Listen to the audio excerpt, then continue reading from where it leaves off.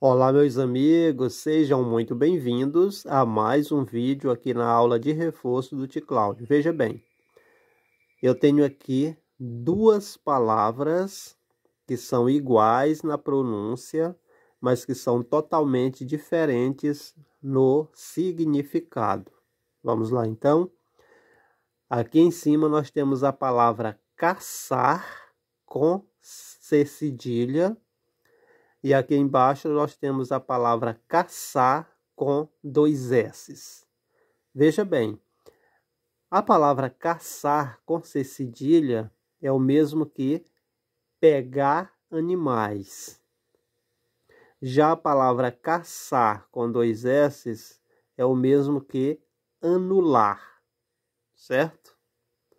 Então nós temos caçar com C cedilha pegar animais, caçar com dois S, anular, certo?